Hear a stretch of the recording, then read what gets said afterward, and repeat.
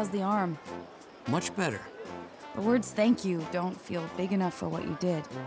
But I honestly don't know what else to say. You don't need to say anything. I want you to know, I'll follow you into battle no matter how crazy things get. I've got your back, and I always will.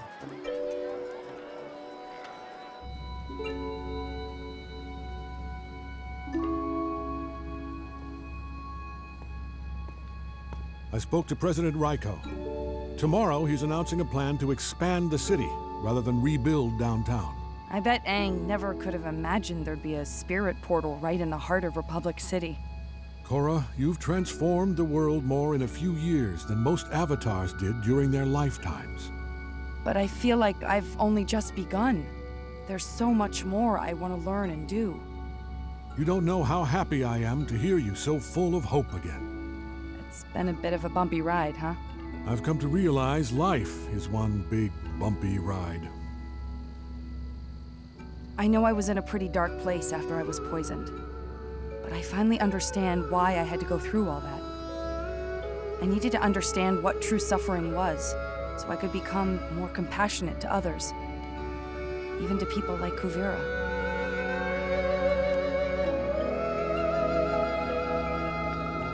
Excuse me, Tenzin. Varric is looking for you. Something about wanting to borrow a glider suit to fly off the tower? That doesn't seem like a good idea. Wanna sit with me for a minute? I'm not ready to get back to the party just yet.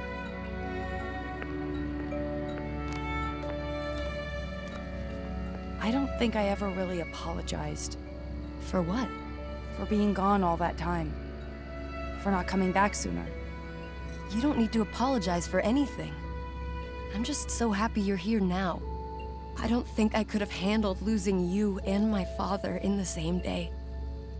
I am so sorry about what happened. Thank you.